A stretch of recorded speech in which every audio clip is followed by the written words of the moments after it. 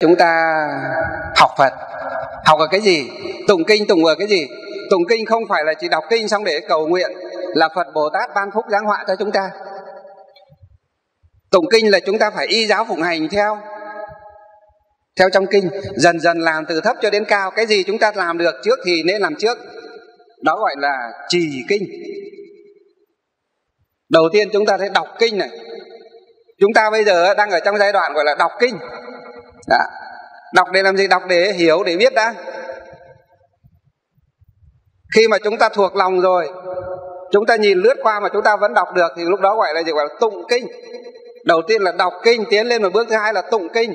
Đến bước thứ ba gọi là gì? Là trì kinh, hay gọi là thụ trì kinh. Trì tức là giữ, là nắm giữ. Mà nắm giữ ở đây có nghĩa là làm theo lấy cái bộ kinh đó dần dần chúng ta học tập và làm theo. Ví dụ chúng ta là đọc tụng và thụ trì kinh địa tạng. Thì ngày đầu tiên như dạo này chúng ta là đang học để đọc này. Đang đọc này. Rồi tiến lên một chút nữa là tụng này. Khi mà chúng ta thông rồi, đọc lầu lầu đi rồi á, gần như thuộc lòng rồi á, mà thuộc lòng được thì càng tốt, thì đó gọi là gì? Gọi là tụng kinh.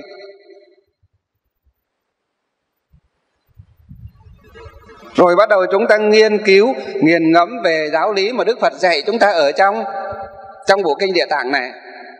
Đức phật và bồ tát địa tạng, chư đại bồ tát dạy chúng ta bỏ ác làm lành lãnh giữ hành thiện.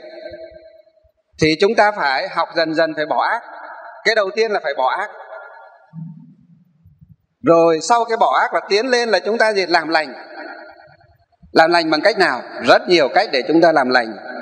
Bố thí cúng dường phóng sinh tu phúc. Đọc tụng kinh văn đại thừa. Vân vân, đều là những việc gì? Đều là những việc thiện. Nói năng hành động khiến cho người hoan hỷ, vui vẻ. Khuyến hóa dạy bảo cho người biết tụng kinh niệm phật, biết bỏ ác làm lành như mình. Đó chính là hành thiện. Đó chính là làm lành những cái điều nào xấu ác có thể sẽ đến với chúng ta thì chúng ta cố gắng lánh nó đi. Tránh nó đi. Gọi là lánh giữ lánh giữ tức là những việc sâu ác chưa đến. Chuẩn bị đến thì chúng ta lánh được thì cố gắng lánh đi. Đừng có tạo tác nữa.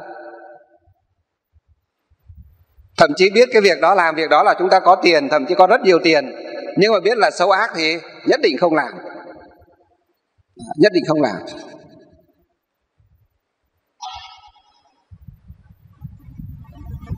Ví dụ chúng tôi chẳng hạn, có những người đến là đặt vấn đề.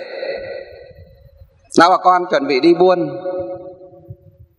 một cái chuyến ở biên giới xa. Nếu mà chỉ cần ờ, trúng quả vào cầu thôi thì một chuyến này thì ăn cả đời không hết. Đó và thầy ờ, con nghe là thầy cũng có tiếng về vấn đề tâm linh, xin là thầy cho con một lá bùa hay là thầy lập cho con một cái đàn lễ? Thế con ờ, sau cái chuyến đi buôn đó về thì chúng con gì sẽ không bao giờ quên ơn thầy đâu. Có nghĩa là gì? Nếu mà họ buôn chuyến, cái chuyến đó về họ làm ăn được á, họ sẽ cúng dường mình rất nhiều. Nhưng mà nghe nói như vậy mình biết là chắc chắn họ sẽ làm một cái việc gì phi pháp. Không có cái chuyện đi làm ăn buôn bán chân chính nào mà đi một lần mà gì mà ăn cả đời không hết cả.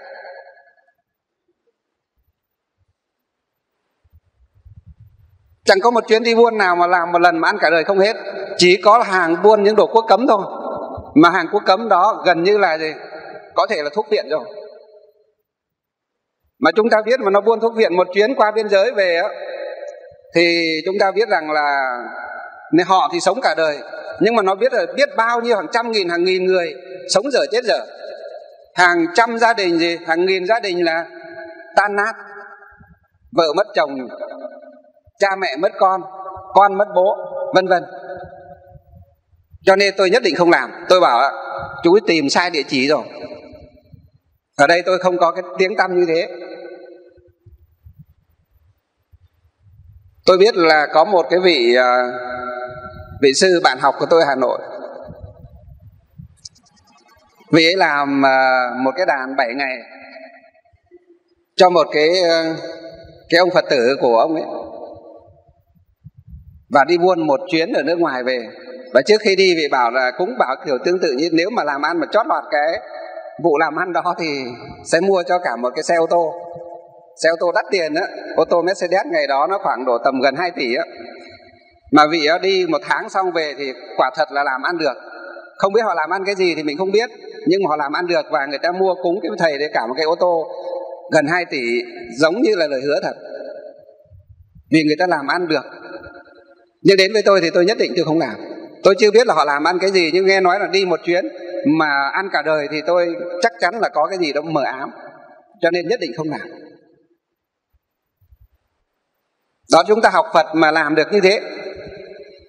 Chúng ta không vì đồng tiền, không vì danh lợi mà đánh đổi đi cái sự tôn nghiêm, quý kính của phật pháp, thì chắc chắn rằng chúng ta sẽ đem giáo pháp của đức phật vào đời được thậm chí những người khó tính nhất chúng ta cũng cảm hóa họ được. Ở đây có một vài bạn sinh viên đến đây tham dự khóa tu, các bạn rất thích. Nhưng mà về nhà không dám nói bố mẹ. Sợ bố mẹ biết. Thế hỏi ra thì các bạn đi cùng mới bảo rằng ạ, vì bố mẹ bạn ấy có thành kiến với đạo phật rất lớn mà từ ngày xưa rồi. Thì hỏi vì sao mà có thành kiến? Bảo là cái chùa bên cạnh nhà các bạn ạ. Và có cái vị sư suốt ngày cãi nhau thậm chí chửi nhau với với người dân. Ăn thịt uống rượu mà có hôm say thịt uống uh, rượu ăn thịt mà say sưa mà đến nỗi là về chửi nhau với bà vãi với dân không còn một cái gì để nói nữa. Cho nên chính vì họ nhìn thấy như vậy cho nên họ có một cái thành kiến sâu sắc vào trong tâm khảm của họ. Sư mà như thế à? Đi tu như thế thì tất cả những kẻ xuất gia đều như thế, vân vân. Cho nên khi mà cứ nói đến chùa một cái là họ dị ứng. Họ thấy là như sư như thế thì sư làm gì? Đó. sư đi tu như vậy. Thì có gì để mà kính trọng? Còn không bằng những cái thằng say xỉn ở ngoài đời nữa thì không có gì để họ kính trọng cả. Và họ nghĩ rằng giáo pháp của đức phật chỉ có thế thôi ở trong cửa chùa chỉ có vậy thôi. Vào trong tam bảo chỉ toàn là những kẻ ăn bám xã hội vậy thôi. Những kẻ thất tình lục dục mới đến chùa đi tu vậy thôi, nương náu cửa phật vậy thôi, vân vân. Cho nên để họ kính trọng phật pháp. Tôn trọng ngôi tam bảo là một việc cực kỳ khó. Vậy thì chúng ta phải làm thế nào? Người xuất gia và phật tử tại gia chúng ta phải học theo kinh phật, làm theo lời phật dạy, đó chính là chúng ta hưng long tam bảo đó là chúng, chính là chúng ta hội trì phật pháp. Trên thì cầu giáo pháp của đức phật. Để minh tâm kiến tính, dưới thì có thể cảm hóa được chúng sinh. Thu phục được lòng người, khiến cho họ phát khởi tín tâm mà mà quý kính tam bảo. Tán thán tam bảo, khen ngợi tam bảo và thậm chí là còn quy y theo tam bảo, nương vào tam bảo để tu tập để hành trì nữa. Trách nhiệm và bổn phận của phật tử chúng ta là phải làm cái điều đó. Tăng ni xuất gia và phật tử chúng ta cũng phải làm điều đó. Tất cả chúng ta đều phải làm điều đó đó chính là người học phật.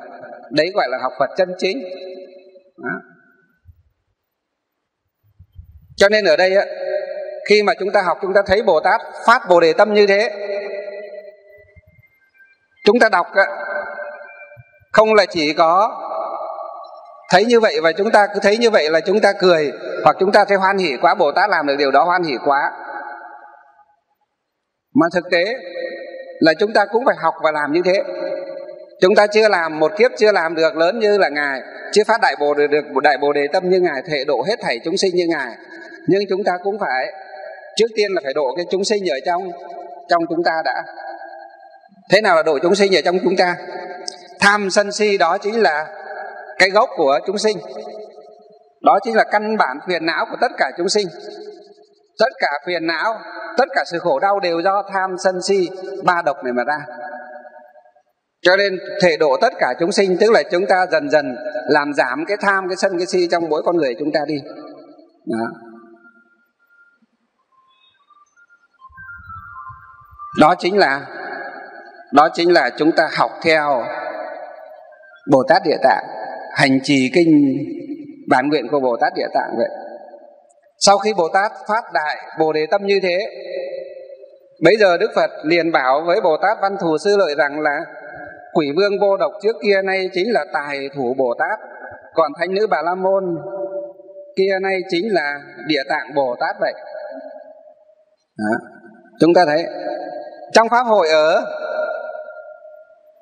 ở tại đâu? Ở tại cung trời đau lợi, tại diệu pháp đường, nội viện của cung trời đau lợi.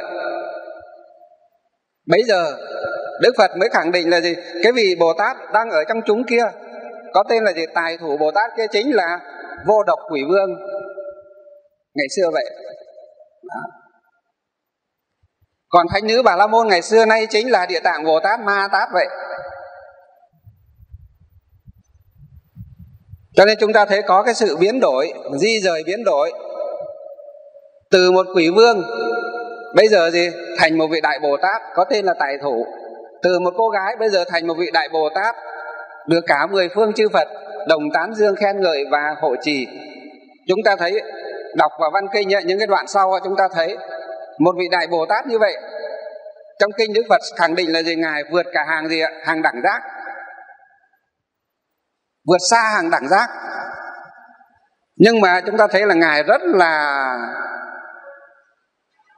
khiêm cung khiêm tốn và hạ mình khi học đạo. Những cái đoạn văn kinh nhất là về quyển ba hạ chúng ta thấy ngài rất khéo léo. Khi mà ngài đứng lên bạch với đức thế tôn á, đời sau có người gì? Người nào mà cầu phật á, mà muốn độ chúng sinh vân vân á thì ngài có bảo là trì kinh địa tạng và trì trì niệm danh hiệu của ngài không? Không. Ngài nói rất là tế nhị đó đó là gì? Trì niệm danh hiệu các đức phật và các vị bồ tát, các vị bích chi la hán, thánh tăng, vân vân chẳng hạn. Rồi thụ trì kinh địa, kinh đại thừa. Chứ ngài không nói là gì? Ai cầu đạo thì hãy đọc kinh địa tạng. Hãy niệm danh hiệu của con. Đó, chúng ta thấy. Đây là những cái chi tiết. Nếu chúng ta học, chúng ta nhìn sâu vào một chút, chúng ta thấy tất cả những cái đoạn văn kinh, khi bồ tát địa tạng nói, không bao giờ ngài nói là trì kinh của trì kinh địa tạng và và trì niệm danh hiệu ngài. Mà đây toàn là đức phật. Với các vị bồ tát khác, khuyên và bảo chúng ta là trì kinh địa tạng và niệm danh hiệu ngài. Đó. Cho nên chúng ta thấy các bậc chân tu, đấy chính là gì? Bậc chân tu. Tu càng cao thì họ càng thấy gì? Mất đi cái ngã. Khi mà họ cảm, họ thấy là cái ngã của họ. Nó không còn nữa, thì nó khác. Còn chúng ta bây giờ mà đến ngôi chùa nào, gặp một bậc pháp sư nào, một vị thầy nào mà suốt ngày nghe giảng mà nghe khoe về mình á, thì phải xem xét lại. Vị đó giỏi thì có thể là giỏi, nhưng mà cái ngã còn nhiều đấy. Ngày xưa chúng tôi đi học ạ. Bắt đầu lên nghe giảng một cái thì cho đến từ đầu cho đến cuối có vị hòa thượng ạ, thì phải đến gì một phần ba thời gian là chuyên khoe về mình thôi. Tức là khoe về cái tài của mình á, họ lên ví dụ mình như thế nào, mình thế nọ, mình thế kia, và mọi người nên học theo vị đó thì nó thế nó, vân vân vân vân.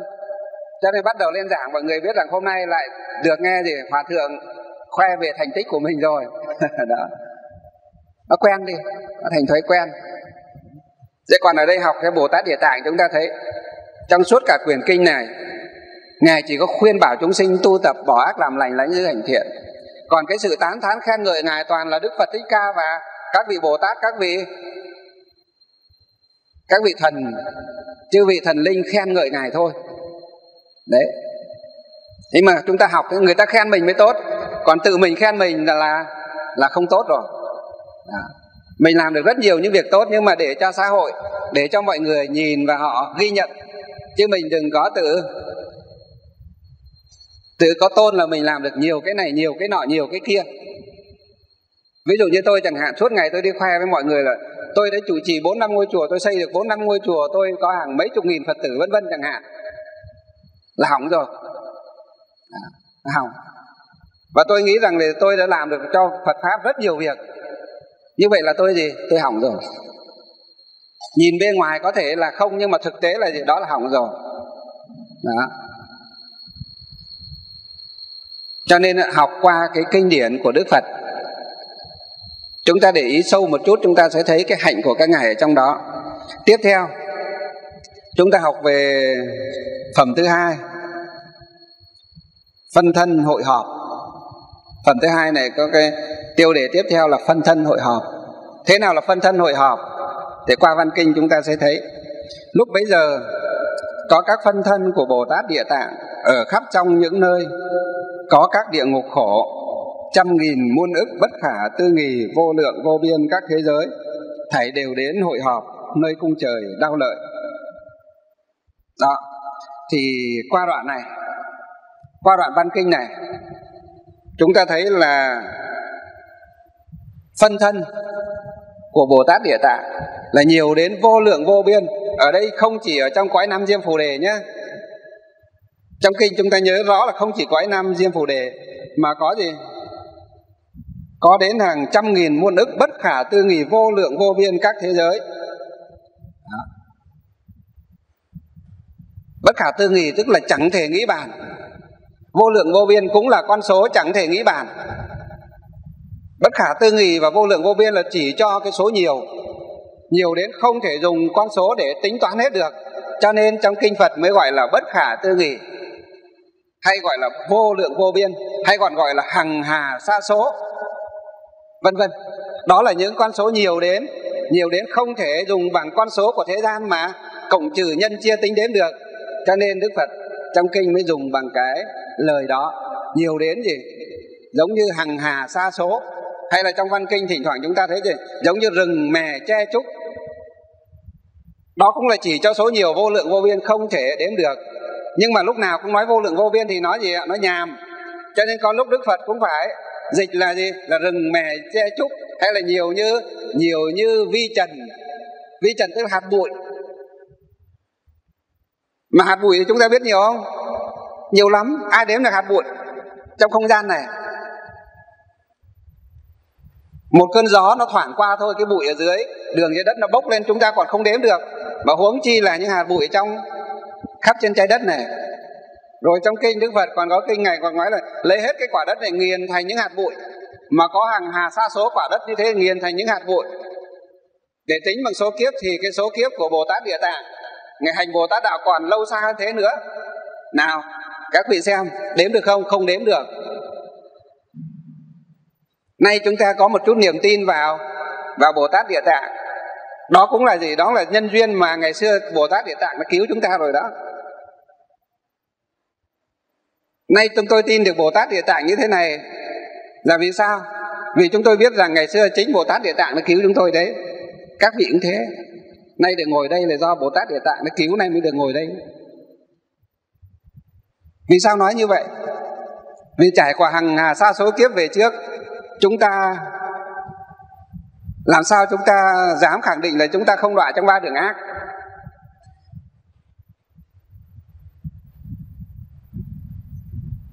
Cho nên học kinh địa tạng. Chúng ta suy nghĩ một chút, suy tư một một chút, tư duy một một chút đó chúng ta sẽ thấy là chúng ta thực sự có duyên với bồ tát địa tạng. Và chúng ta còn phải cần tới ngài nhiều nữa. Cần tới ngài cho bao giờ chúng ta thành phật. Chứng đắc thánh quả viên mãn, đầy đủ mười hiệu như lai ứng cúng chính biến chi minh hạnh túc thiện thể thế gian giải vô thượng sĩ đều người trưởng phu tiên nhân sư phật thế tôn đó tức là thành bậc vô thượng chính đẳng chính giác đó, tự do tự tại, làm thầy khắp chúng sinh trong ba cõi đó. Thì khi đó chúng ta mới gì? Mới thấy được cái ơn nghĩa của bồ tát địa tạng. Giống như văn thù sư lợi vậy, là thầy của các đức phật thời quá khứ, thầy của các đức phật thời hiện tại và còn làm thầy của các đức phật thời vị lai. Nhưng mà ngài chỉ hiện thân là một vị gì? Bồ tát diệu giác mà thôi. Trên hàng đẳng giác, tức là hàng diệu giác, hay còn gọi hàng viên giác. Ừ. Bồ tát địa tạng cũng vậy.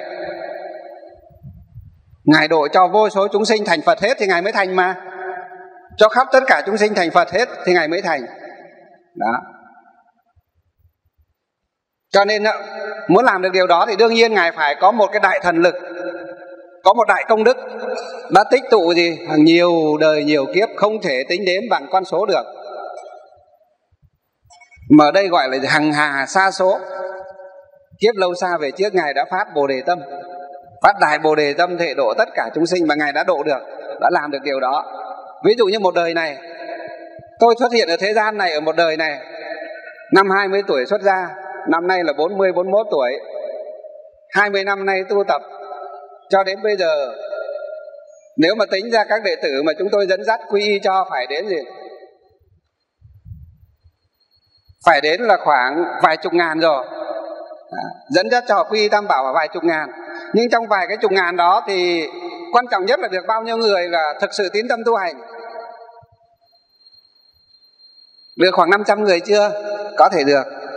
500 người tín tâm tu hành đó được khoảng sau này được khoảng 100 người được vãng sinh không? Có thể.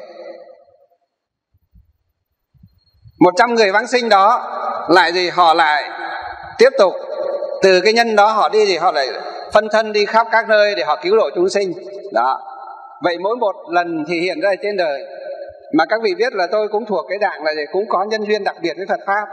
Vậy thì 20 năm nay mới có làm được cái việc đó. Nhưng mà so với Bồ Tát Địa Tạng thì ngài phải tích chữ là hàng hà xa số kiếp. Mình một kiếp mới chỉ làm được một việc nho nhỏ. Bằng một hạt cát trong hàng hà xa mà thôi. Tức là bằng tất cả cát trong sông Hằng. Thì như vậy phải tích tụ làm sao? Bồ Tát Địa Tạng bây giờ cái việc làm của ngài giống như cát của con sông Hằng. Nhưng việc của mình chỉ mới như cát ở chỉ một vài hạt cát ở trong lòng bàn tay nó dính vào vào trong đầu ngón tay mình mà thôi. So với Bồ Tát còn quá ít. Vậy nay mình phải gì? Phải noi gương theo Bồ Tát. Tích cực làm các việc thiện, tích cực hoàng pháp, tích cực lợi sinh. Chứ mình không được nhìn vào người khác bảo là ô cái người ông sư kia, hay là thầy thầy sư kia, hay là đại đức kia, hay thượng tọa kia, hay là hòa thượng kia. Hòa thượng còn đi nhảy đồng, huống chi là mình chẳng hạn. Nói như thế là hỏng rồi. Hãy giống như tôi có một ông sư đệ, ông hay đi nhảy đồng. Thế tôi bạch với sư phụ của tôi là, tại sao thầy không không bảo bác ấy? Thế thầy tôi nói là, nói với tôi mà tôi rất là buồn ở câu nói này. Này sám hối cụ hôm nay tôi nói với các quý vị. Thầy tôi nói với tôi, các vị biết nói nào không? Cụ bảo á, tôi cũng bảo đấy chứ, nhưng mà nó bảo là hòa thượng còn đi nhảy đồng huống chi là con. Thế là chịu rồi. Thế tôi bảo là, nếu mà đệ tử của tôi như thế á, xin mời là cắp túi ra khỏi chùa ngay, lập tức. Không có chuyện đó. Làm gì có cái chuyện mà học trò nói với thầy là hòa thượng? Còn đi nhảy đồng còn huống chi là con. Không được. Hòa thượng nào hay thượng tọa nào làm cái việc đó là việc của các ngài. Quan trọng nhất mình phải hiểu được mình xuất ra để làm gì. Mình xuất ra để cầu đạo giải thoát, chứ không phải là mình xuất ra để trốn tránh nghĩa vụ xã hội. Không phải mình xuất ra để vì miếng cơm manh áo. Không phải là mình xuất ra để tránh cái khổ của thế gian phải hiểu rõ được cái điều đó để mình mới vượt ra nó được. Mà phải nhìn vào những cái tấm gương sáng của các bậc chân tu, các bậc tổ sư để mà chúng ta noi theo. Chứ chúng ta thấy họ đi vào chỗ tối, chúng ta cũng đi vào chỗ tối, lại bảo hòa thượng thượng tọa còn thế là hỏng rồi.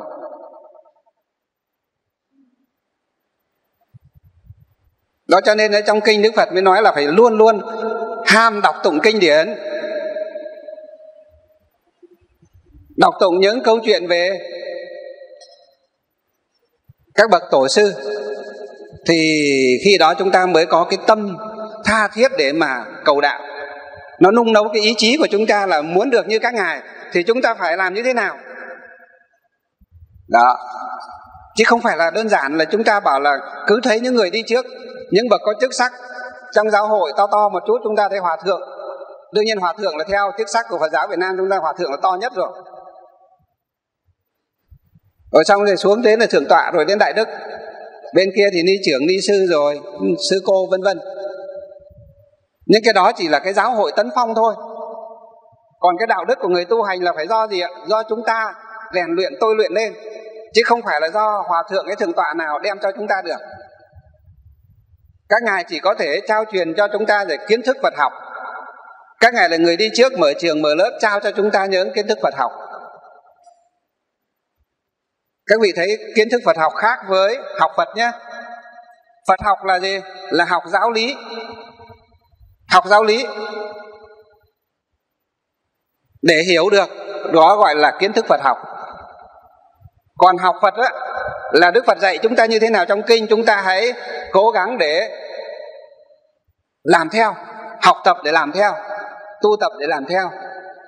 Thì đó mới gọi là người đệ tử phật học phật. Còn những học giả, các nhà phật học người ta gọi là những học giả, ví dụ ở ngoài đời cũng có, các giáo sư, tiến sĩ, vân vân. Ở ngoài đời họ nghiên cứu phật học. Họ chỉ nghiên cứu về giáo lý để gì? Để họ viết bài thôi. Họ đưa lên báo thôi. Và họ làm phong phú cái kho tàng triết học của của kiến thức họ thôi. Thì đó gọi là những học giả còn những người tu tập á thì người ta gọi là gì? Những hành giả. Hành tức là thực hành giáo giáo nghĩa của đức phật giáo điển của đức phật những lời dạy của đức phật áp dụng vào trong cuộc sống đó gọi là những hành giả. Còn những người chỉ nghiên cứu và đi giảng dạy đó gọi là những học giả. Đó.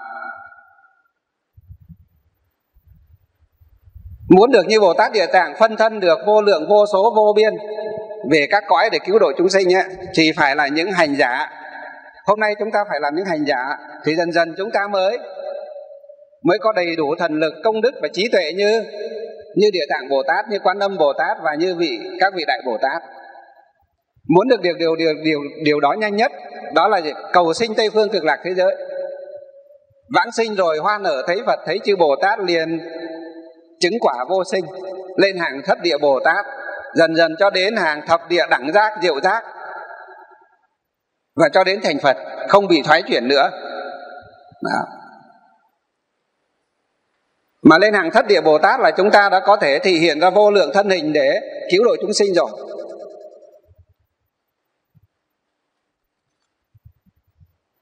Còn lên hàng thập địa thì còn càng huyền diệu nữa. Các vị về xem lại 52 quả vị tu chứng của Bồ Tát trong cái băng giảng kinh địa tạng mấy bữa trước trong cái CD ờ, đĩa trước là có rõ rồi, các vị sẽ thấy được. Chúng tôi đã nói rõ ở trong đó rồi. Đó, ở đây. Qua cái đoạn văn kinh này, chúng ta mới thấy là Bồ Tát Địa Tạng Ngài không chỉ dùng vô lượng thân hình ở thế giới Sa Bà này, ở cõi Nam Diêm Phù Đề này, mà ngài còn ở ở khắp mười phương thế giới. Nơi đâu có chúng sinh khổ là nơi đó có hóa thân của bồ tát địa tạng cõi tây phương cực lạc, thế giới không có chúng sinh khổ, nhưng nơi đó thì vẫn có hóa thân của địa tạng bồ tát. Vì sao? Vì nơi đó vẫn có một hóa thân của ngài để dẫn dắt chúng sinh ở nam diêm phù đề về đó. Và ở các thế giới khác, có thế giới, trong kinh vô lượng thọ nói là có nhiều thế giới mà cũng có cuộc đời đau khổ giống như thế giới sa bà chúng ta vậy. Những nơi đó chúng sinh cũng cần được gì? Cũng cần được phát nguyện và cần được hướng dẫn để sinh về tây phương cực lạc thế giới. Thì bồ tát địa tạng dẫn dắt họ để đưa về đó, đó. chúng ta tu theo tỉnh tông học hội một lòng phát nguyện vãng sinh. Các vị đừng có nghi ngờ rằng tại sao thầy lại cho tu thêm kinh địa tạng. Không sao cả. Chúng ta làm tu thêm theo kinh địa tạng hiểu được nhân quả trong kinh địa tạng phát được đại nguyện theo bồ tát địa tạng thì a di đà phật càng quý chúng ta hơn, càng muốn chúng ta về hơn. Vì giống như trong cầu thủ bóng đá, chúng ta thấy nếu mà ở đâu có một cầu thủ xuất sắc, thì thì đội tuyển quốc gia chắc chắn sẽ gì sẽ tuyển chúng ta vào thôi, đúng không? Nếu chúng ta làm một cầu thủ đèn phèn bình thường thôi á, thì đội tuyển quốc gia có mời chúng ta vào không? Không a di đà phật thấy chúng ta ở thế giới, sao bà ngũ trược ác thế kham khổ này mà làm được những việc khó, làm được những việc lớn? A di đà phật càng quý là càng muốn chúng ta đến đó nhanh hơn. Và chúng ta về đó càng được yêu ái hơn. Đó. Yêu ái làm sao? Đáng nhẽ thì bình thường thì người ta chỉ được đới nghiệp vãng sinh về hạ phẩm thôi hoặc biên địa thôi. Nếu chúng ta làm được các việc công đức lớn a di đà phật chắc chắn sẽ quan tâm hơn sẽ gì? Cho chúng ta lên gì? Thượng phẩm, thượng sinh. Mà thượng phẩm, thượng sinh thì hoa nở một cái liền liền ở ngôi thập địa bồ tát rồi. Hạ phẩm, hạ sinh hoa nở liền là ở ngôi thất địa bồ tát. Còn thượng phẩm, thượng sinh hoa nở liền là ngôi thập địa. Tức là chỉ tiến một bước lên là là lên hàng đẳng giác thôi. Đó. Cho nên chúng ta kết hợp giữa việc gì? Thụ trì kinh địa tạng để cầu nguyện bồ tát địa tạng vào trong các cõi khổ cứu giúp những chúng sinh. Chúng ta có trì tụng có kêu có khấn nguyện có cầu nguyện á thì bồ tát địa tạng mới gì? Mới ứng. Bình thường thì ngài vẫn làm nhưng mà nếu có chúng ta cầu nguyện số đông cầu nguyện đó, thì bồ tát làm càng càng nhiều hơn. Giống như người lãnh đạo quốc gia mà công việc của họ rất nhiều bây giờ chúng ta muốn làm một cái dự án lớn gì ở tỉnh của chúng ta chẳng hạn. Đó. thì cái người đứng đầu cái tỉnh đó phải gì? Phải quan hệ ngoại giao để mời được cái người đứng đầu. Ví dụ như nước chúng ta là thủ tướng. Ở nước ngoài thì có nước là tổng thống, có nước cũng là thủ tướng, có nước là chủ tịch nước, vân vân chẳng hạn. Nói nôm na tóm lại là mời được người đứng đầu đến để thăm cái tỉnh đó. Và trình ra cái người đứng đầu trong tỉnh đó phải đưa ra được cái quy hoạch đồ án cụ thể là muốn phát triển kinh tế cho bà con nhân dân trong tỉnh như cái này, thế này thế này. Là trình thủ tướng hay là trình chủ tịch nước hay trình tổng thống, vân vân chẳng hạn. Quan tâm tạo điều kiện và rót vốn. Thì khi đó được quan tâm tạo điều kiện phê duyệt rót vốn, khi đó mới triển khai được và dự án mới thành hiện thật được. Đó. Nhưng mà khi mà không về thăm tỉnh này các vị đứng đầu quốc gia đó như tổng thống hay thủ tướng hay chủ tịch nước đó, có đi chơi không? Có nằm ngủ suốt ngày không? Không các ngài vẫn làm việc. Nhưng mà cái việc làm việc nó bao phủ rộng lớn. Nhưng mà chúng ta muốn làm được ở cái địa bàn của chúng ta thì người đứng đầu, người có trách nhiệm cao nhất ở trong cái tỉnh đó, cái địa bàn đó phải gì? Phải quan hệ ngoại giao, phải làm thế nào đó mời cái người đứng đầu về để để thăm. Và chúng ta phải, gọi là gì? Phải xin chứ gọi là xin những cái cái cái cái cái dự án hay là còn gọi xin gọi là ý kiến chỉ đạo của cấp trên nó vân vân. Trong tâm linh của chúng ta cũng thế. Có cầu thì mới có cảm có cảm mới có ứng. Giống như kinh của đức phật cũng vậy. Đây là một bộ kinh, địa tạng. Nếu mà chỉ để chỉ để để để trên ban thờ thôi, thì cái bộ kinh đó vẫn chỉ là một bộ kinh phật để thờ. Nhưng nếu chúng ta đem về chúng ta giảng như thế này, chúng ta đọc tụng với nhau như thế này, thụ trì với nhau như thế này, thì cái bộ kinh này, nó được gì? Nó được lan tỏa sâu rộng ở trong dân gian. Bình thường chỉ đặt thờ thì chúng ta nghĩ là kinh của phật chỉ là để thờ phụng lễ bái. Nhưng nếu mà chúng ta hành trì đem giảng thuyết và thụ trì rộng ra khuyên bảo người cùng đọc tụng, cùng thụ trì và cùng bỏ ác làm lành, lãnh dư hành thiện, thì bộ kinh này mới là bộ kinh quý giá nhất. Và bây giờ, có chúng ta cầu nguyện, thì chư Phật Bồ Tát sẽ cảm ứng đạo giao bất khả tư nghị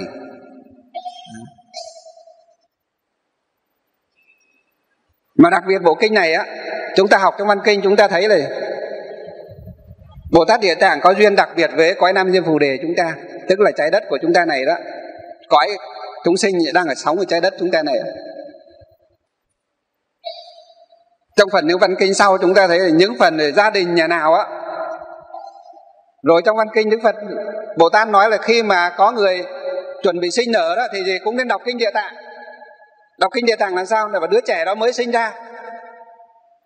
Mà nó gì ngang ngược ngang tàng á, thì đọc kinh địa tạng hồi hướng từ một ngày đến bảy ngày thì cái đứa trẻ đó cái tính ngang tàng nó mất đi và lớn lên nó ngoan hiền và tốt đẹp hơn tức là đứa trẻ kém phúc đó. Còn như đứa trẻ có phúc rồi á, đọc tụng kinh địa tạng hồi hướng cho nó thì đứa trẻ đó lớn lên càng tốt đẹp hơn.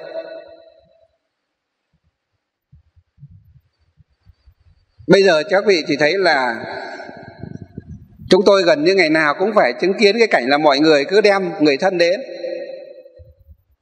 bảo là thầy chữa bệnh với. Mà khổ lắm.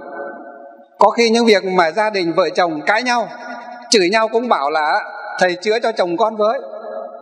Có những người bảo là vợ chồng trong cái chuyện tình cảm hôn nhân gia đình không uh, nhà cửa êm ấm thì ông chồng nói gì nó nó đi gọi ở ngoài đời gọi, gọi đi ngoại tình đó. Nó đi tìm với cô khác rồi. Cũng đến chùa bảo thầy ơi thầy làm thế nào cho chồng nhà con về với? Thế tôi bảo chịu cái này thì tôi chịu thôi tôi không có. Thế người ta bảo là chứ con nghe người ta bảo thầy giỏi lắm mà. Mà không, tôi chỉ có gì? Tôi chỉ có giỏi tụng kinh thôi. Nếu cô muốn học tụng kinh đến, tôi dạy cho tụng kinh. Ngon lành luôn. Học bộ kinh nào tôi cũng dạy được. Thế mà không học kinh thì con không có thời gian để học và thôi. Thế thì chịu thế mời cô về. Đấy. và học kinh không học được thì đương nhiên thì học kinh kinh là gì? Kinh tức là đức phật dạy chúng ta bỏ ác làm lành, lãnh hành thiện. Xây cái cội nguồn phúc đức từ ở trong nội tâm của mình, rồi nó sinh ra trong cái hạnh phúc trong gia đình của mình mà mình không học được. Không chịu khó học mà nói là không học được. Vậy mà cứ muốn là gì? Phúc nó đến luôn. Muốn cho đến cái chùa nào nhà sư làm cho một lá bùa ấy, chỉ cho một câu thần chúa, là về là chồng con hoan hỉ ngoan lành luôn á. Khó lắm các quý vị ạ. Trên đời này không có đâu. Phật pháp chân chính không có chuyện đó. Phật pháp chân chính Đức Phật nói về gì? Về nhân quả nói về muốn xây dựng cái nền tảng đạo đức xã hội thì phải do chính con người, mỗi mỗi con người của chúng ta phải bỏ ác làm lành, lãnh chứ hành thiện. Chứ đức phật không phải là một vị thần linh, ban phúc giáng họa. Các bồ tát cũng không phải là vị thần linh, ban phúc giáng họa. Chúng ta cầu, chúng ta nguyện bằng cái việc làm của chúng ta, cái tâm đức của chúng ta và cái việc làm thực tế của chúng ta này phù hợp với cái nhân quả đạo đức, thì các ngài mới gì? Mới cảm và mới ứng. Đó. thế ví dụ hôm qua, hôm kia chúng tôi nói với các quý vị, mấy hôm trước khi mà chưa vào pháp hội thì trời rất nóng. Nắng nóng đến 38 40 độ, thậm chí ở sân Tây này còn lên 42 43 độ. Ngồi trong nhà này chắc chắn không ngồi được. Thì tôi bảo các quý vị cứ nhất tâm học đi thủ trì kinh địa tạng này, để trong khoảng thời gian này chắc chắn trời sẽ mát nắng nóng lắm cũng chỉ 34 35 độ trở lại thôi. Mà thậm chí là cứ một, hai hôm là mưa mà trận nho nhỏ như thế này, đủ mát cho chúng ta gì? Cho chúng ta ngồi học trong cái mái nhà tôn nắng nóng này, nóng bức này. Nơi nào nắng thì kệ, nhưng khu vực sân tây chúng ta vẫn cứ mưa, vẫn cứ mát là được, đúng không? Vì nơi đây có gì ạ? Có đạo tràng chúng ta đang học kinh địa tạng, đang thủ trì kinh địa tạng nếu mà các vị thiên long bát bộ nào mà cứ đem nắng đến đây mà các vị thần linh nào mà cứ mang nắng đến đây sấm chớp bão tố đến đây các vị phải chịu trách nhiệm. Mà mình về mình nắng quá mình muốn mưa mà mấy ông long vương mà không mang mưa đến đây mà cũng giảng á, là các ông ấy cũng phải có tội. Đúng không? Đó cho nên mình cứ nhất tâm trì niệm đi. Mình cầu gì sẽ được.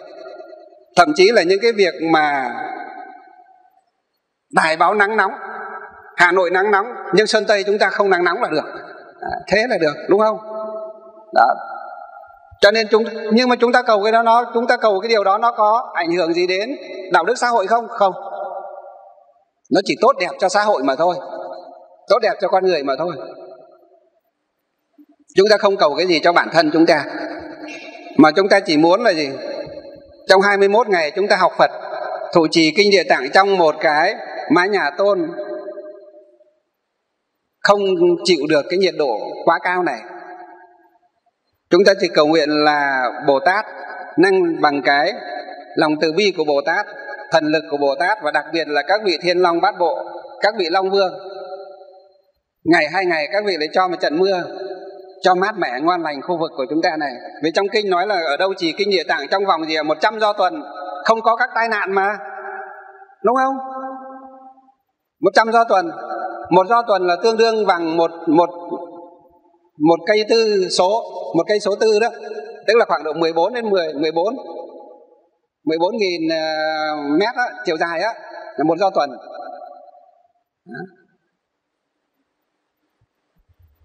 Cái này thì nó không đồng. Có những sách giải thích là một do tuần là hơn hai cây số. Nếu có do tuần thì có sách thì giải thích là một cây số tư có do tuần là nói một cây số sáu à, có nghĩa là cái không đồng nhau nhưng không quan trọng cái đó thì chúng ta không quan trọng vì ngày xưa người ta chỉ ước lượng thôi chứ người ta không đo chuẩn là bằng mét chiều dài như chúng ta bây giờ đâu là cây số là 10.000 mét như bây giờ một 10.000 mét hay 1.000 mét nhỉ? một nghìn chứ nhỉ? Hay mười nghìn? một nghìn đúng không? một cây số là một nghìn mét họ không đo chuẩn như bây giờ mà ngày xưa thì ở ấn độ trong kinh phật tính là tính là câu lâu xá tính là do tuần. Một câu lâu xá trong luật nói là khoảng gì? Khoảng cách. Đức phật nói là con trâu. Thì ngày xưa ấn độ họ có con trâu con bò mà họ nuôi người làm nông nghiệp mà cũng như việt nam chúng ta. Thì đức phật nói con trâu to nhất đứng xa làm sao người có con mắt sáng ấy, chứ không phải người mắt tối nhá. Người có con mắt sáng đứng là sao thì con trâu nó vẫy đuôi á. Vẫy đuôi qua vẫy đuôi lại mà vẫn nhìn thấy thì đó là một gì ạ? Một câu lâu xá vì ngày xưa đâu có số đếm.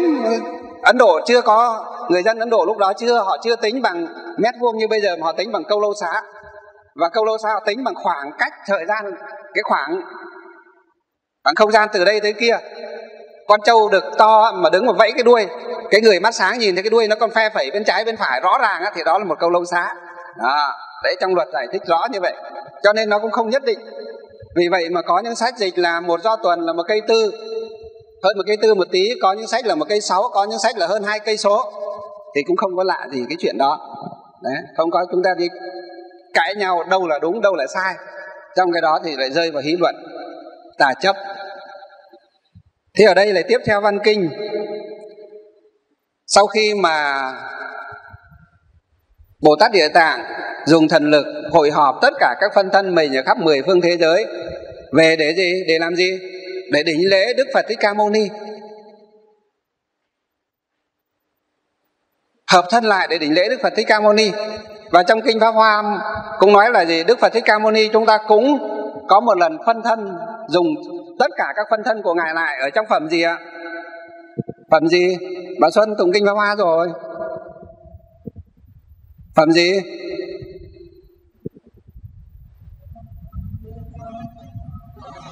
Có nhớ phẩm gì không? Phẩm gì? Phẩm hiển bảo tháp, đúng không? Phẩm hiển bảo tháp chuẩn bị khi mà Đức Phật đa bảo là vì cổ Phật đã nhập Niết Bàn từ lâu, nhưng mà gì Ngài phát nguyện là để chứng minh và hộ trì Đức Phật nào thuyết kinh Pháp Hoa và ai đọc tụng kinh Pháp Hoa. Đức Phật đó phát nguyện sau khi nhập Niết Bàn, toàn thể kim thân của Ngài vẫn vẫn ngồi nguyên ở, giữ nguyên và không có tan rã và ở trong bảo tháp gọi là đa bảo, Đức Phật đa bảo đó. Ngồi trong cái bảo tháp đó, và ở đâu có người Đức Phật nào khi thành đạo thuyết kinh Pháp Hoa Ngài đều hiện đến để chứng minh và tán thán khen ngợi cúng dường. Và ngài có một cái nguyện gì đức phật nào muốn muốn cho các đệ tử của ngài thấy toàn thể kim thân của đức đa bảo thì phải gì ạ? Đức phật đó phải hiện phải thu toàn bộ, dùng thần lực để thu toàn bộ cái phân thân của đức phật đó về. Thì khi đó mới mở được bảo tháp đúng không? Đó, thì trong kinh pháp hoa thì đức phật thích ca cũng có một lần thu tất cả phân thân của ngài trong khắp tam thiên đại thiên thế giới, nơi quốc độ mà ngài ngài chỉ hiện các hóa thân để độ chúng sinh đó. Đó. Thì khi đó thì mới mở được cửa bảo tháp, mới cho đại chúng thấy được đức đa bảo như lai còn toàn thân của ngài còn ngồi ở trong ở trong bảo tháp. Đó. Thì ở đây địa tạng bồ tát cũng như thế vì một cái đại sự nhân duyên lớn, đó là gì? Được đức phật thích ca mâu ni xoa cánh tay vàng để thọ ký cho mình và phó chúc cho mình cái việc gì? Cứu độ chúng sinh ở quái năm diêm phù đề này khi đức như lai nhập niết bàn.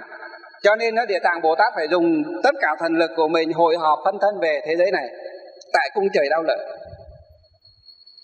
và sau khi phân thân về á, thì chúng ta thấy gì? Trong văn kinh nói nhờ vào sức uy thần của đức phật như lai mà những phân thân ấy cùng với các đệ tử nhiều đến hàng đến hàng trăm nghìn muôn ức na do tha đều đem hương hoa quý lại để cúng dường phật. Đó. chúng ta thấy nhé, về cái pháp hội đó không chỉ có bộ, phân thân của bồ tát địa tạng mà còn có gì ạ? Các đệ tử của địa tạng bồ tát nữa. Các đệ tử xuất sắc của ngài được đi theo để thị để thị giả. Ngài chọn những cái đệ tử xuất sắc nhất để cho đi theo mình lên cung trời đau lợi chúng ta thấy đức phật thích ca mâu ni không đem theo đệ tử nào lên cung trời đau lợi nhá. Đó. Một mình ngài lên, nhưng mà địa tạng bồ tát ngài đi gì? Cho cả các đệ tử đi đến, những đệ tử xuất sắc ngài cho đi theo. Các vị muốn đi theo ngài không? Mà đi theo ngài thì phải vào địa ngục, có nóng có chịu được không? Hả? Vào địa ngục có chịu được không? Thầy đi trước thì thầy thì chịu được, nhưng trò đi sau trò có chịu được không? Hay là chúng ta thấy gì? Thấy cảnh địa ngục khổ, thấy chúng sinh nó chết nhiều cái cảnh thê thảm và ngục hình thê thảm quá, chúng ta sợ ăn không ngoan, ngủ không yên, lại bảo thôi thôi thôi, con bỏ đạo thôi. Con bỏ thầy thôi, con không dám theo thầy nữa.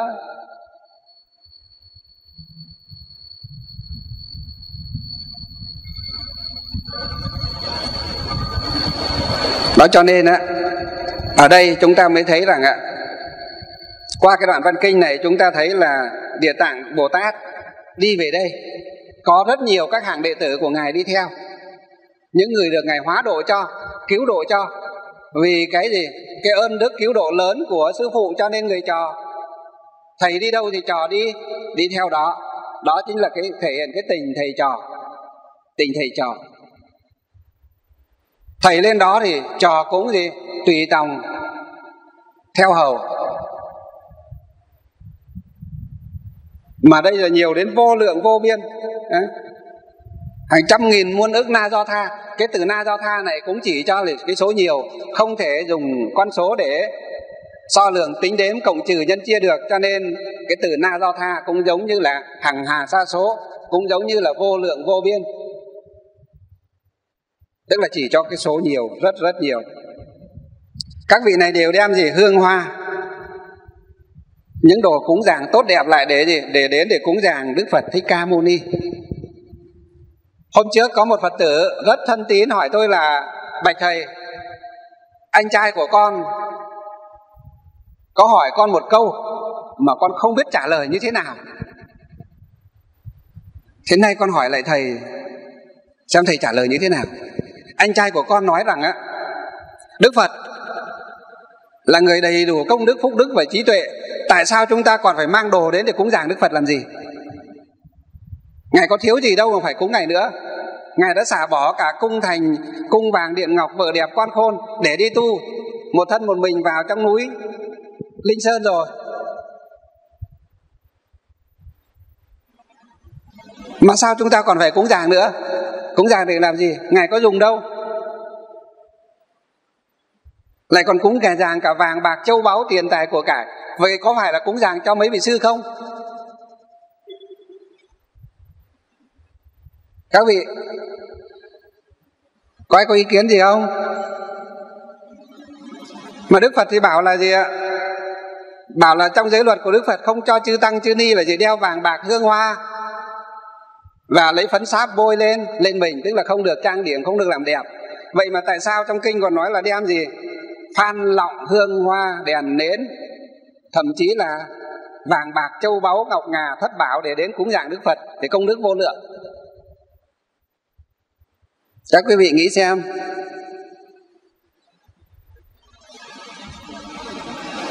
Cái này cho suy nghĩ nha, mai trả lời nhá.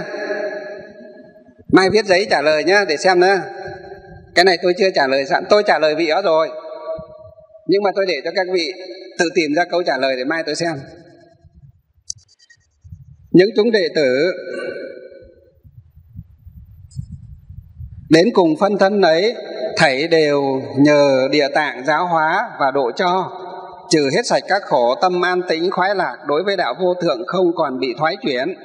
Tức là các vị đó ít nhất đều chứng được quả vị thất địa bồ tát trở lên rồi.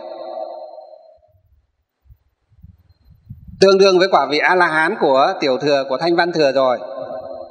Đó. Những vị đi theo bồ tát địa tạng toàn là những vị đã chứng quả vị đại a la hán trở lên. Hàng bồ tát thì hàng thất địa trở lên. Tâm các ngài gì đều là an tĩnh, trụ ở trong chính định, cho nên để sinh ra sinh ra cái tâm là gì? Khoái lạc, an lạc vui vẻ, hoan hỷ, vân vân.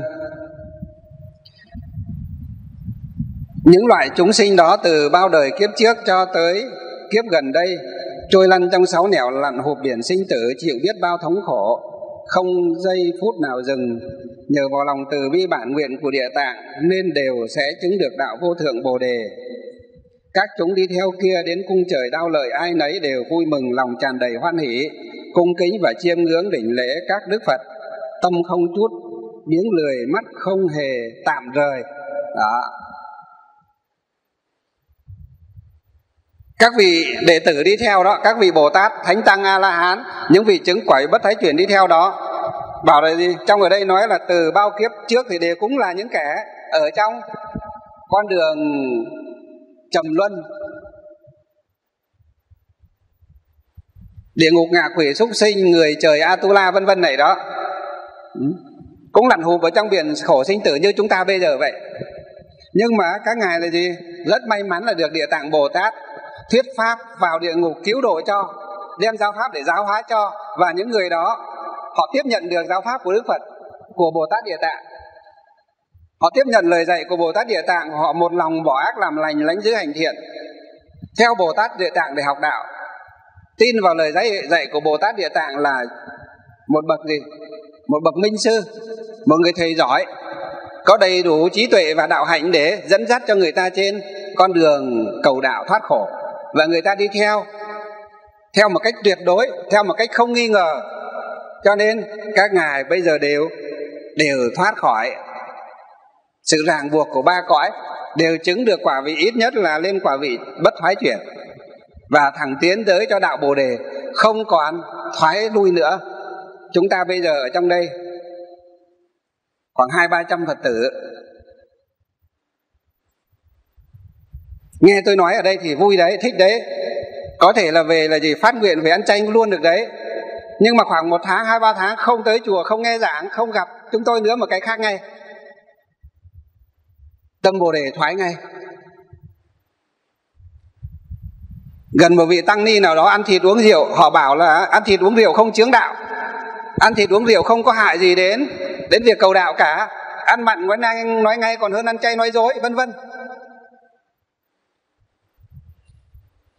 Rồi thì họ nói nữa là con trâu con bò ăn chay đấy có có thành phật đâu.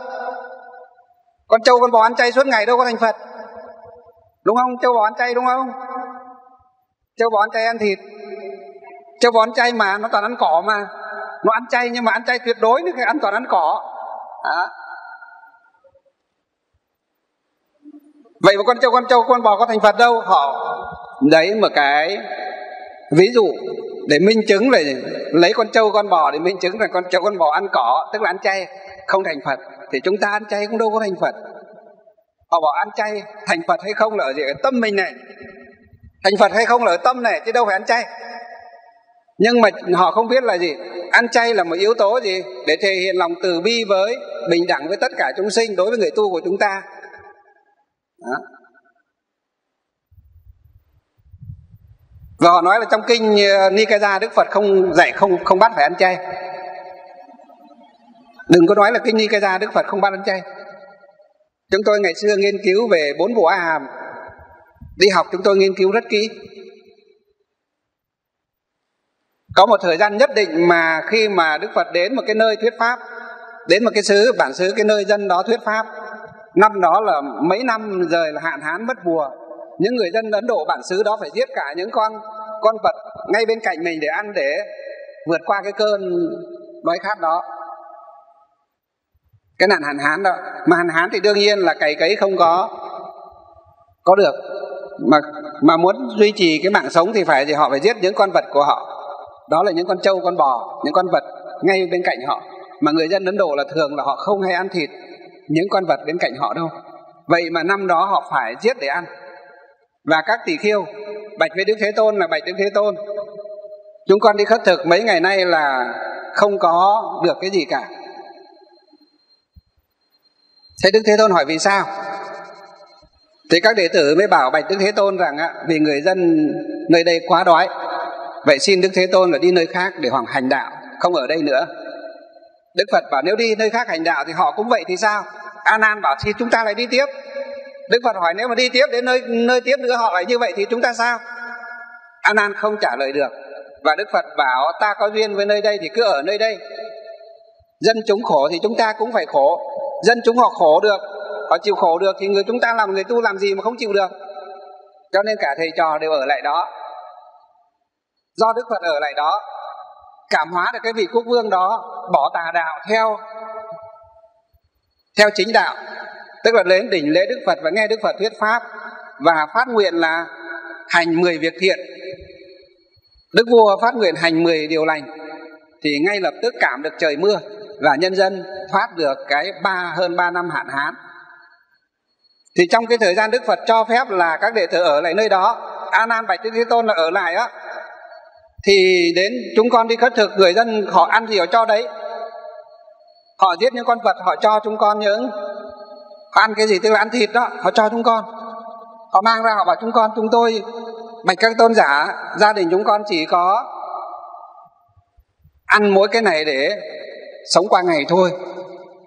Thì đức phật bảo, vậy thì gì? Thì họ cho ăn cái gì?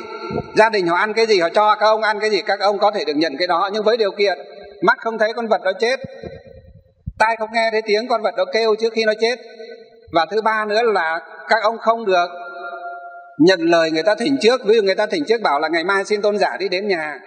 Con thịt con gì, con lợn để con cúng giả các tôn giả. Nếu mà ngày mai các vị đến mà nhận cái thức ăn đó, là gì? Là sai. Là thức ăn bất tịnh.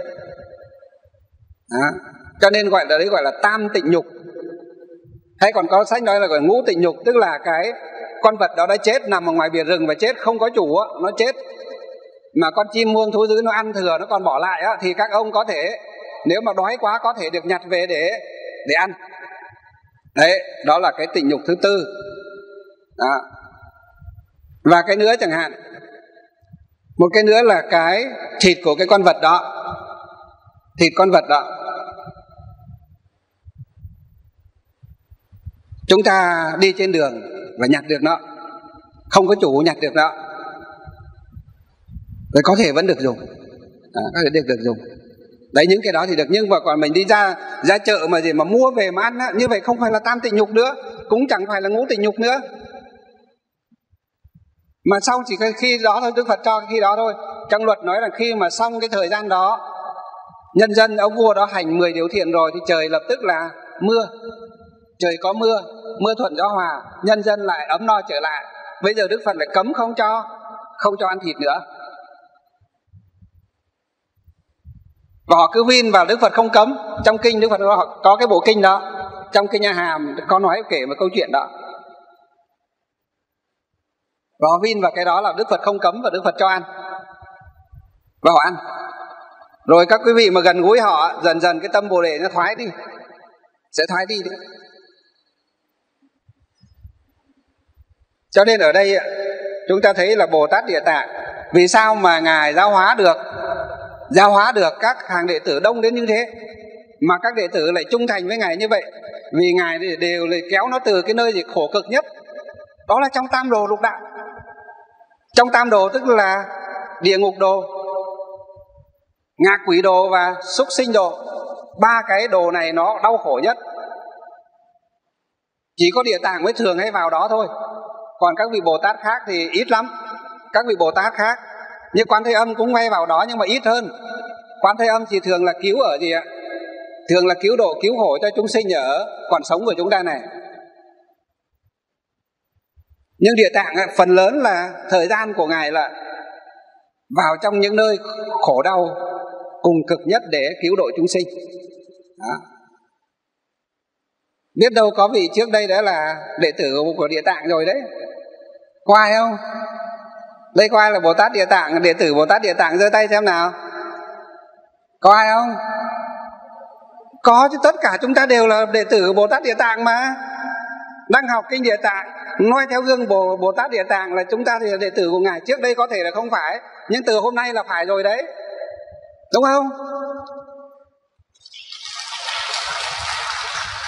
Tôi ý thức được là tôi là đệ tử của bồ tát địa tạng từ rất lâu rồi khi tôi đọc cái kinh địa tạng, tôi cảm nhận và tôi gì? Tôi cảm động và tôi trào nước mắt ra và tôi biết là tôi đã có nhân duyên với bồ tát địa tạng từ rất lâu.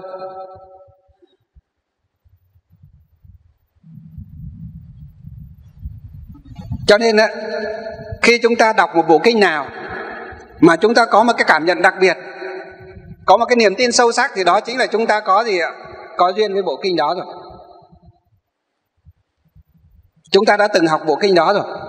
Ở đời trước, kiếp trước, thậm chí là sống ở hàng hà xa số kiếp trước, chúng ta đã học bộ kinh đó với các đức phật quá khứ rồi.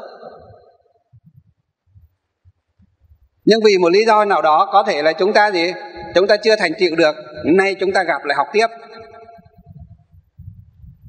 Chỉ còn chúng ta đọc kinh phật mà cứ buồn ngủ á mà cứ buồn ngủ đọc kinh phật mà cứ buồn ngủ mà cứ giờ đến kinh phật một cái là buồn ngủ. Bình thường rất tỉnh như sáo cầm kinh phật lên là buồn ngủ á. Thì như vậy là chúng ta biết là cái duyên lành của chúng ta còn ít lắm nghiệp chướng chúng ta còn nhiều lắm lắm.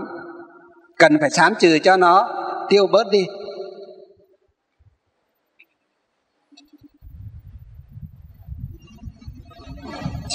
Tôi thì có một cái đặc biệt là khi mà cứ vào đọc tụng kinh phật ấy, thấy tỉnh ngay đọc những sách viết thì tôi hay buồn ngủ. Nhưng mà cầm kinh phật lên một cái là tôi tỉnh. À. đây cũng là cái nhân duyên. Cho nên chúng ta phải luyện làm sao đó. Để khi chúng ta học phật, cầm kinh phật lên mà chúng ta thấy mà còn buồn ngủ là chúng ta phải sám trừ cái tội chướng của mình ngay. Sám trừ ngay.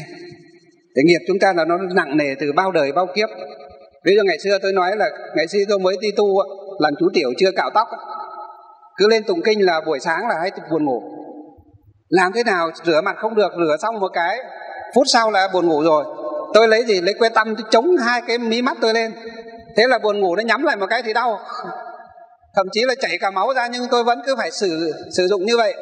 Cho nên mắt tôi bây giờ có khi có, mọi người nhìn vào nó cứ đỏ đỏ và nó như là bị bệnh mắt thôi chính vì ngày xưa là tôi hành nó nó nhiều quá. Mấy tháng như thế. Lúc mới vào chùa thì cái nghiệp chướng nó nó nhiều. Không chỉ vô thủy kiếp trước mà ngay đời này thôi. Hôm qua tôi nói thì khi chưa xuất gia còn là trẻ, một đứa trẻ trâu ấy thì hay đi đánh cua, bắt cua, đánh cá. Đánh bẫy, bắt chim, vân vân nhiều, rất nhiều. Cho nên cái nghiệp đó khi vào cửa phật một cái nào nó đến nó báo ứng tranh nhau nó đến nó hỏi nợ, nó sợ mình chạy trốn mà. Nó sợ ông ấy chạy trốn cho nên nó đến nó hỏi gấp. Có gì đâu, nó đến nó hỏi gấp mình. Và bây giờ mình trả nợ dần dần đi thì ngon lành. Đó. cho nên chúng ta tu tập để đừng có thoái. Thấy những cái đó đến càng phải cố gắng tinh tiến hơn nữa. Đừng có thoái. Thoái là chết. Thoái là đi vào cái gì? Cái bẫy của thiên ma nó đặt ra đó vì nó thiên ma là không bao giờ muốn chúng ta giải thoát không bao giờ muốn chúng ta giác ngộ cả. Họ muốn là chúng ta cứ mãi mãi làm con cháu của họ họ để họ điều khiển được mình thôi. Giống như người người phù thủy điều khiển âm binh thôi. À, chúng ta bây giờ giống như âm binh của ông thầy phù thủy ấy. Chúng ta mà không học đạo đến nơi đến chốn không thoát vượt ra được khỏi tham sân si ấy, thì chúng ta giống gì chúng ta chính là những những âm binh của của thiên ma ba tuần đấy. Để cho họ sai sử sai khiến chúng ta đấy. Mà học ở đây đấy, hãy noi theo các vị đệ tử của địa tát, bồ tát địa tạng đây này. Khởi cái niềm tin chân chính như là các vị tin vào bộ kinh này, đọc tụng bộ kinh này thụ trì bộ kinh này. Ai nói ngả nói nghiêng thế nào, đó là là việc của họ. Ta không có siêu lòng. Ta không, nhất định không siêu lòng. Họ bảo kinh này là kinh của gì ạ? Của các vị tổ sư trung quốc bịa ra chúng ta kệ cho họ nói họ nói tự họ nghe. Và chúng ta chỉ tin một điều tuyệt đối là gì? Từ kim khẩu đức phật nói ra bộ kinh này ở cung trời đao lợi để độ cho thân mẫu của mình. Và trong kinh này có rất nhiều giáo lý, từ thấp cho đến cao, ở trong tam tạng của đức phật ở trong này. Chúng ta tin tuyệt đối vào đó và chúng ta cứ học, thọ trì, đọc tụng, làm theo. Dần dần chúng ta sẽ được viên mãn. Chúng ta đọc tụng thọ trì mà cảm được cả gì? Cảm được cả trời đất thế này còn gì nữa mà phải phải nghi ngờ. Mà nghe một ông nào đó bảo là lấy cái bằng tiến sĩ hay là lấy cái gì, lấy chức vị là hòa thượng, lấy chức vị là đại biểu quốc hội, nói này, nói nọ, vân vân, xa hết. Hôm rồi có một cháu sinh viên, nó đưa cho tôi một cái bài viết. Nó dẫn chứng và nó nói rằng tất cả những người tụng chỉ niệm để danh hiệu Ami đà phật a di đà phật đó đều là ngoại đạo hết thì nó bảo ai nói nó là một vị thượng tọa tiến sĩ. Giữ một cái chức rất to ở trong trung ương giáo hội phật giáo việt nam nói như thế. Rồi vị tiến sĩ thượng tọa đó còn dẫn chứng là có một vị hòa thượng là đại biểu quốc hội nước cộng hòa xã hội chủ nghĩa việt nam nói như thế. Là kinh điển, những người trì niệm a di đà phật a di đà phật đó đều là ngoại đạo, giả danh phật giáo hết. Rồi nó dẫn chứng là phải gì? Phải học kinh của kinh của hòa thượng nhất hạnh dịch á, hòa thượng minh châu dịch mới là kinh của mới là kinh phật giáo chân chính. Còn kinh của hòa thượng trí tịnh dịch và các hòa thượng không phải là ngài minh hòa thượng minh châu, không phải hòa thượng nhất hạnh dịch á, thì đó đều là kinh của người trung quốc hết. Rồi cái bài viết nó còn nói là gì? Nó còn dẫn chứng. Ai thành lập ra tông phái tịnh độ?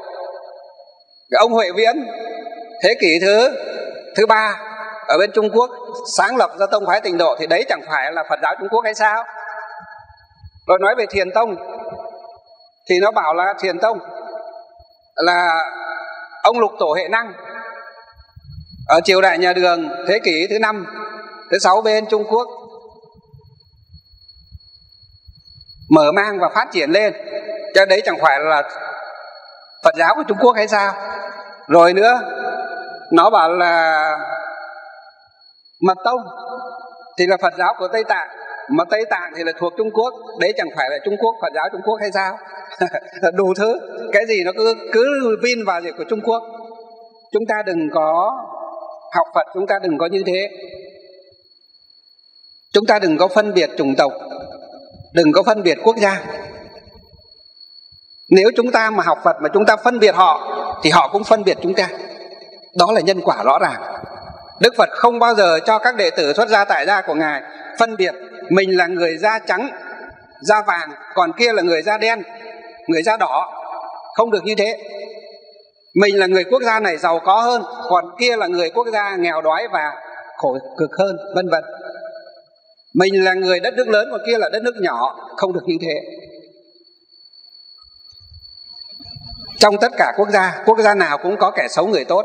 Trong tất cả các tổ chức, đã gọi là tổ chức thì tổ chức nào cũng có kẻ tốt và người xấu kể cả trong đạo Phật chúng ta bây giờ chúng ta thấy giáo lý của Đức Phật là thuần tịnh, thuần thiện, là giải thoát. Nhưng mà chúng ta thấy bây giờ chư tăng và tín đồ và tử học đạo bây giờ có được thuần tịnh, thuần thiện và giải thoát không? Chúng ta bảo có, phải. Như vậy thì họ đâu có tin. Họ minh chứng rằng đấy, đâu đó có những vị sư đi buôn thuốc phiện có những vị sư do gì hút thuốc phiện mà say thuốc phiện mà chết. Thì như vậy thuần tịnh đâu? Thuần tiện đâu? Có những vị sư còn gì? Còn này nọ nọ nọ nọ nọ, rất rất rất nhiều những cái xấu nó đưa ra. Chúng ta làm sao mà chứng minh được đạo phật là thuần tịnh, thuần thiện và giải thoát hoàn toàn? Giáo lý thì thuần tịnh, thuần tiện và giải thoát. Nhưng mà khi mà đã thành lập lên tổ chức rồi, đức phật phải chấp nhận đã thành lập lên tổ chức thì có những kẻ sẽ không theo giáo lý của ngài khi đức phật tại thế còn có gì? Nhóm lục quần tỷ khiêu. Tăng nhóm lục quần tỷ khiêu ni phá đạo cơ mà, phá phật cơ mà. Đó, cho nên là chúng ta thấy thì bất cứ một tổ chức nào ở trên đời này khi thành lập đến tổ chức, hoạt động một thời gian ngắn thôi là những kẻ lợi dụng ở trong đó nó sinh ra rồi. Tổ chức nào cũng có. Đảng phái nào cũng có. Quốc gia nào cũng có. Vì thế giới của chúng ta là thế giới xa bà. Cái bản chất lớn ở trong con người chúng ta là tham sân si. Nó theo chúng ta từ vô thủy kiếp đến nay rồi, nó khó diệt trừ một lúc lắm. Cho nên là khi gặp duyên một cái là nó gì? Nó bùng nổ lên ngay.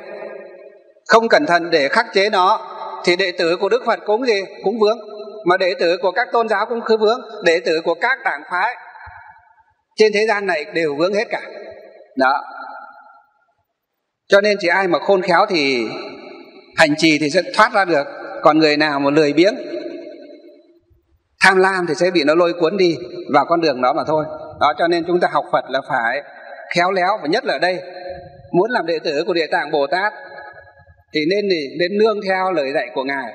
Đặc biệt là gì? Ở đây trong đoạn văn kinh này nói là những loại chúng sinh mà trước đây á, trầm luân khổ cực đó bây giờ đều thành những vị bổ xứ bất thoái chuyển bồ tát và thánh tăng đó, đi theo hầu bộ địa tạng.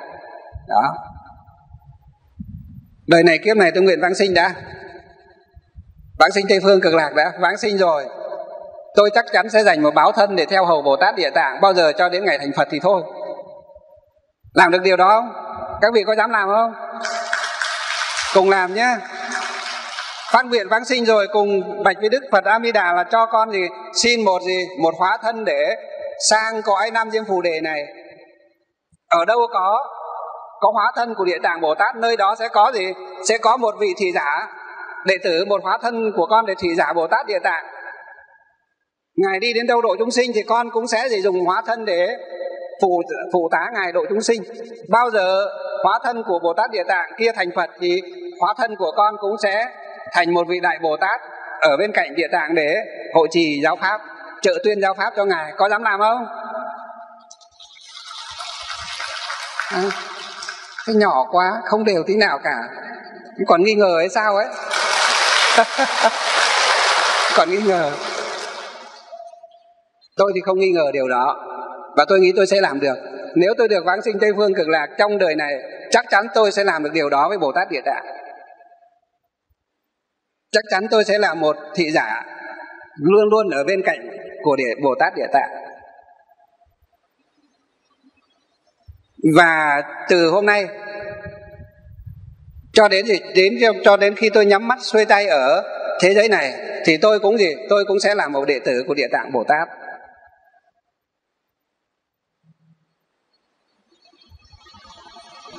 Đem kinh bản nguyện của bồ tát địa tạng để khuyến dụ mọi người khuyên bảo mọi người cùng đọc tụng cùng thọ trì và để cùng cứu độ những chúng sinh ở trong ba đường ác đạo ở cõi này. Đó chính là đệ tử của địa tạng bồ tát. Và tôi nghĩ chắc chắn địa tạng bồ tát sẽ chấp nhận điều đó. Và tôi mong rằng các quý vị Phật tử chúng ta cũng làm được điều đó. Và sau này về, không chỉ 21 ngày này, mà nếu một ngày chúng ta tụng được một biến kinh địa tạng thôi, ở trong kinh nói rồi đúng không? Mỗi ngày tụng được một biến kinh địa tạng ở trong cái phẩm thứ hai ấy cuối phẩm thứ hai. Nói rằng mỗi ngày à, trong cái ờ, quyển thứ hai á mỗi ngày tụng được một một quyển kinh địa tạng thôi là chúng ta gì? Được gì? Được rất nhiều điều lợi ích đúng không? Đó và đặc biệt là được bồ tát địa tạng thường là thường lại gia trì cho chúng ta. Còn sống thì được bình yên mạnh khỏe, gia đình hạnh phúc, vân vân. Thác đi thì vĩnh viễn không bị đọa vào ba đường ác đạo nữa. Cái đó là cái quan trọng nhất. Ở thế gian này thủ trì kinh địa tạng, nếu mà nghiệp chúng ta quá nặng ở đời trước thì chúng ta cứ mãi trả, thì có thể có có lúc ốm đau bệnh tật, không quan tâm. Ốm đau bệnh tật về tâm thân này không quan tâm.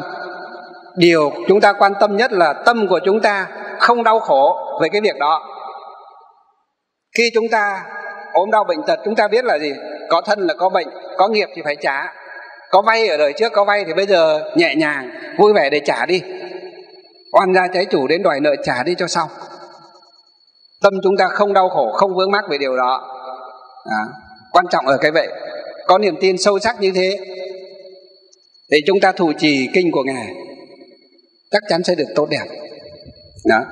Vậy cho nên ở đây chúng ta thấy là các vị đệ tử của bồ tát địa tạng, đi theo bồ tát địa tạng, đi lên ở trong cung trời đau lợi này, ở tại cung trời đau lợi này, các ngài đều là vui mừng, lòng đầy, tràn đầy hoan hỷ, cung kính chiêm ngưỡng các đức phật và cúng dường các đức phật. Ở trên đó, rất nhiều các đức phật chứ không phải mình thích ca mâu ni phật. Vì có các đức phật cũng gì? Cũng hội họp ở nơi đó để chứng minh cho cho Đức Phật Thích Ca nói về công đức và thọ ký cho Bồ Tát Địa Tạng. Chúng ta thấy nếu mà một cái pháp hội như vậy mà có một mình Thích Ca Mâu Ni Phật đó thì chưa tốt mà phải có gì có rất nhiều các đức Phật cùng chứng minh nữa.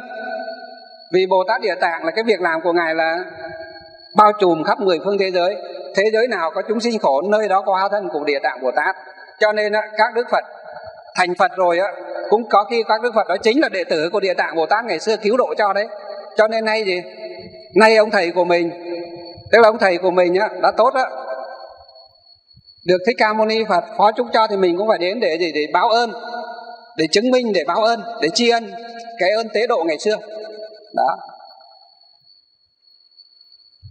Và tôi chắc chắn rằng tất cả chúng ta học Phật ở đây, Hôm nay chỉ tụng kinh địa tạng này Thì tất cả chúng ta đều sẽ thành Phật trước địa tạng Bồ Tát.